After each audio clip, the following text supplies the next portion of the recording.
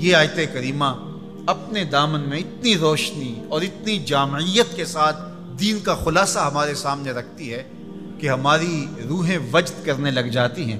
तो इर्शाद फरमाया, बेशक अल्लाह हुक्म देता है अदल का, एहसान का और कराबतदारों के साथ हुस्न सलूक का और मना करता है बेहयाई से, मुनकरात से और सरकशी और तमरत से। और ये इसलिए फरमा रहा है कि तुम नसीहत पकड़ो ताकि तुम्हारे सीने हिदायत के नूर से रोशन हो और मुनवर हो। हज़रत हसन बसरी रदी अल्लाह तहो फरमाते हैं कि इस आयत करीमा में अल्लाह ने किसी भी अमर खैर को छोड़ा नहीं है। सारी खैर, उसका खुलासा बतौर हुक्म हमें इरशाद फरमा दिया।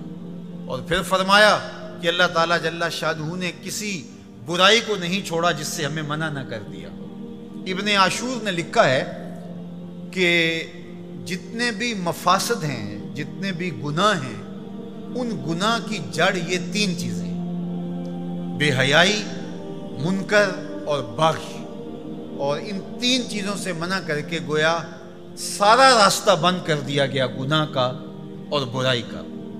और तीन चीज़ों का हुक्म दे करके खैर के सारे रास्ते खोल दिए गए।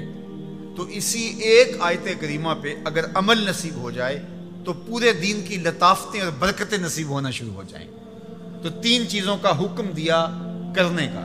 इन अल्लाह या मुरो बिल आदल बेशक अल्लाह अदल का हुक्म देता है, इंसाफ का हुक्म देता है। अगर तुम नजात पाना चाहते हो तो गुस्से के अंदर भी और सरशारी के अंदर भी तुम्हें अदल से, इंसाफ से काम लेना पड़ेगा। तो हमारा दीन हमें अदल सिखाता है और क़यामत के दिन सात अशास जिनको अल्लाह अपने अर्श का ठंडा साया अता फरमाएगा, उनमें से पहला शख्स हजूर ने शार फरमाया इमाम आदिल वो शख्स जो अदल इंसाफ करता है, वो इमाम, वो हाकिम, जो अदल से उमूर सल्तनत निभाता है, कल क़यामत का दिन होगा, कोई साया नहीं होगा, अल्लाह उसे अपने अर्श का ठंडा साया नसीब फरमाएगा। रिवायत में आता है कि क़यामत के दिन जो बादशाह होंगे, हुक्मरान होंगे, उनके हाथों में हथकड़ियाँ होंगी और उनको यूँ मैदान हशर में लाया जाएगा। अगर उन्होंने अदल किया होगा तो वो हाथ कड़ियाँ टूट जाएँगी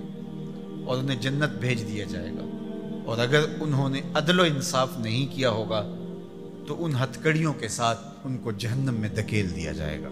हमें अदल करने की तलकीन की गई। मुल्कों के अंदर तमानियत, सुकून और करार अदल के ज़रिए से आता है। एक अरबी का मकूला है अल मुल्क यदूम बिलकुफ वला यदूम बिजुल्म मुल्क कुफर के साथ तो कायम रह सकते हैं, लेकिन जुल्म के साथ कायम नहीं रह सकते। उलमा ने अदल के हवाले से ये बात भी लिखी है कि इसका मतलब अल्लाह ने हमारे ऊपर जो भी फरीज़ा आयद किया है, उसको पूरा करना ये अदल कहलाता है।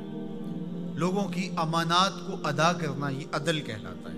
जुल्म को तरक करना और इंसाफ का बोलबाला, ये अदल कहलाता है। इस अदल से मुराद, साहिब हक को हक देना है। जिसका जो हक है, उसको देना, ये अदल कहलाता है। अल्लाह जो हमें अदल का हुक्म देता है, इसका मतलब है हमारे जुम्मे जिसका हक है, हमारे बाप का है, हमारी औलाद का है, हमारी अजवाज का है, हमारे अहल खाना का है, हमारे हमसायों का है, दोस्तों का है, जिसका भी हक हमारे जुम्मे है बल्कि फरमाया कि तेरे नफ्स का तेरे ऊपर हक है।